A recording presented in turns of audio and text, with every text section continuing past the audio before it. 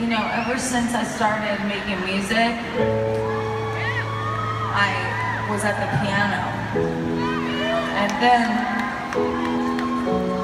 when I started to get discovered by different record labels and different executives, they wanted me to dance. And it just so happened I've been going to dance classes when I was younger. Jazz, tap, ballet, all that theater stuff, you know? I had it in me, but where I really found music and my heart with music was just sitting at the piano writing songs. Just like this one.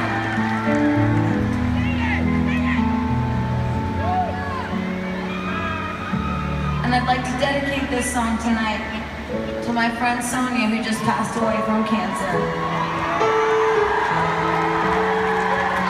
She was a theater girl too.